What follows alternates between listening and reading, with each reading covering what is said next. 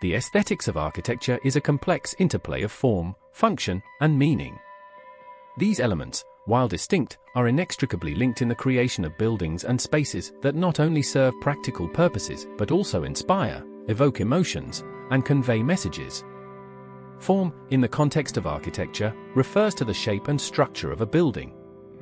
It is the physical manifestation of the architect's vision and creativity. The form of a building is influenced by various factors, including the site, the intended use, the materials available, and the prevailing architectural styles and trends.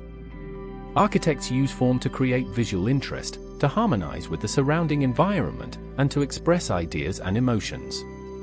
The form of a building can be simple and minimalist, or it can be complex and ornate. It can be designed to blend in with its surroundings or to stand out as a landmark.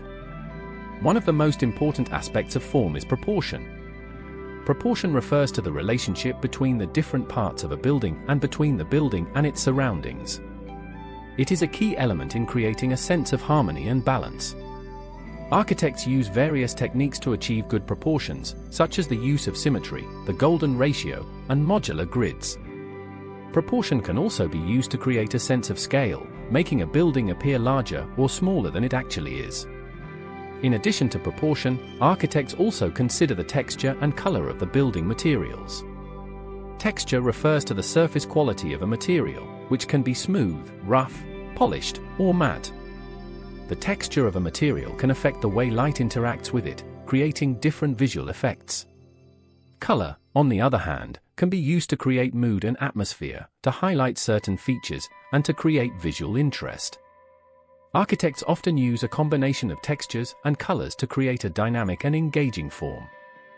Function, in the context of architecture, refers to the practical use of a building. It is concerned with how well a building serves its intended purpose and how efficiently it meets the needs of its users.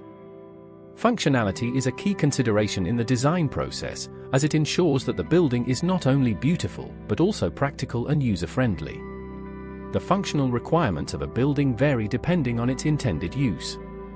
For example, a residential building needs to provide comfortable living spaces, adequate natural light, and good ventilation. A commercial building, on the other hand, needs to provide flexible spaces that can accommodate different types of businesses, efficient circulation paths, and adequate parking. Public buildings, such as schools and hospitals, have their own specific functional requirements, such as accessibility, safety, and security. To ensure that a building is functional, architects conduct thorough research and analysis during the design process.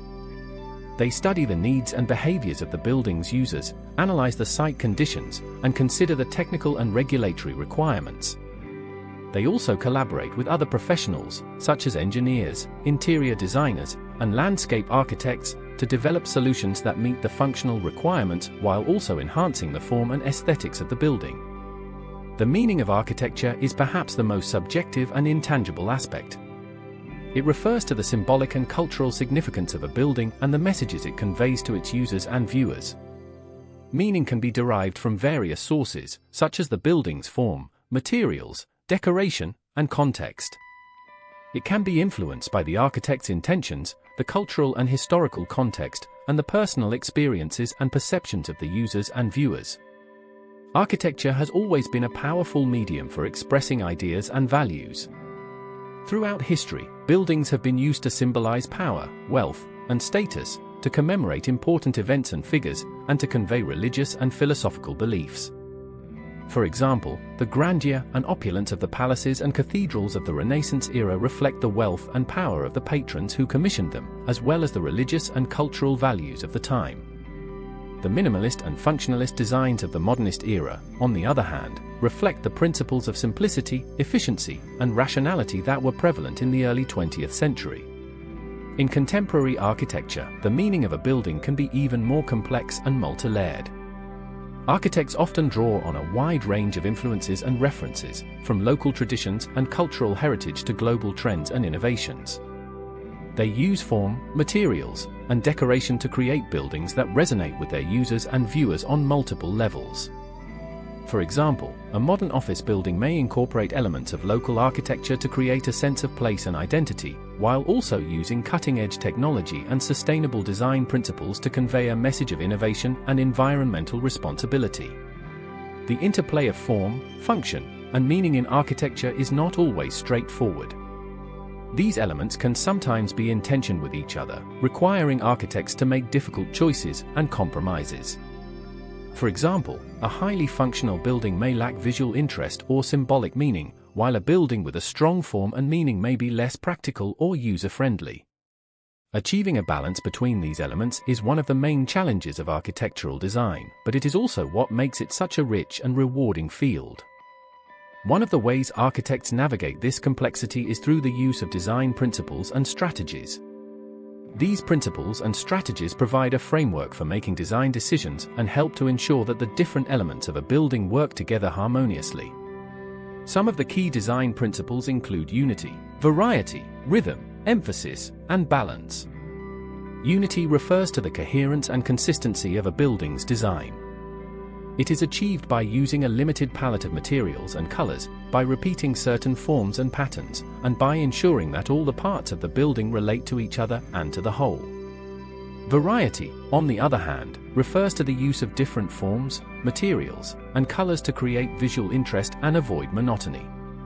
Rhythm refers to the repetition of elements, such as windows, columns, and openings, to create a sense of movement and flow. Emphasis refers to the use of focal points, such as entrances, towers, and sculptures, to draw attention and create a sense of hierarchy. Balance refers to the distribution of visual weight, achieved by arranging elements in a way that creates a sense of stability and equilibrium. In addition to these design principles, architects also use various strategies to enhance the form, function, and meaning of a building. For example, they may use natural light and ventilation to create a comfortable and healthy indoor environment. They may use sustainable materials and technologies to reduce the building's environmental impact, and they may use cultural and historical references to create a sense of identity and belonging. The aesthetics of architecture is also influenced by broader social, cultural, and technological trends. For example, the rise of digital technology has transformed the way architects design and construct buildings, enabling them to create more complex and innovative forms. The growing awareness of environmental issues has also led to a greater emphasis on sustainable design, with architects increasingly seeking to minimize the environmental impact of their buildings and to create spaces that promote health and well-being. In addition, the increasing diversity of society has led to a greater appreciation of different architectural styles and traditions, with architects drawing on a wide range of influences and references in their designs. This has resulted in a more eclectic and pluralistic approach to architecture, with buildings that reflect the diversity and complexity of contemporary society. Ultimately, the aesthetics of architecture is about creating buildings and spaces that enrich our lives and enhance our experience of the world. It is about creating forms that are not only beautiful but also meaningful and functional, that respond to the needs and aspirations of their users, and that reflect the values and spirit of their time. It is about the art and science of creating places that inspire, delight, and endure,